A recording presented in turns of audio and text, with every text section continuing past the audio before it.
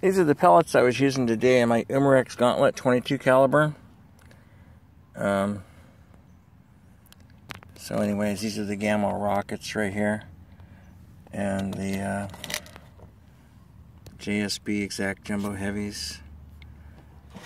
And then uh, the Sniper Lights. The Gamo Red Fire. The Hatsan Vortex Express. The Gamo Luxor and the H&N Field Target Trophy Power. And I'll show you what each one did.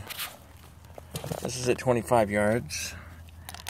Right here is the Gamo Rockets. These are a one inch circle around a quarter, just to let you know. And right over here is the exact Jumbo Heavies. And the wind was about 10 to 12 miles per hour through a lot of the shooting. Um, Right here is the Sniper Lights. That's got the best group. That's not the first time the Sniper Lights got the best group.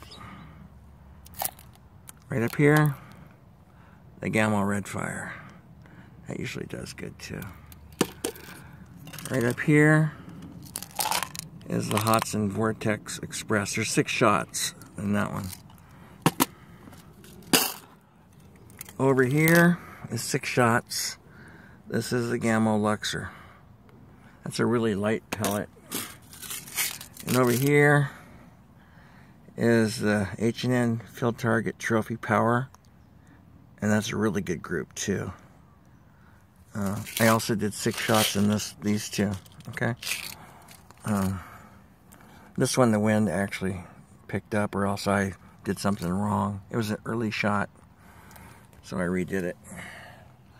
So the best group, I think, is right there. That's the H&N Sniper Lights. Pretty good. The uh, the light ones didn't do so good because of the wind. That was the Luxor, the Gamo Luxor, and the Hatsan uh, Vortex Express. Didn't do too good. All right. Thanks for watching.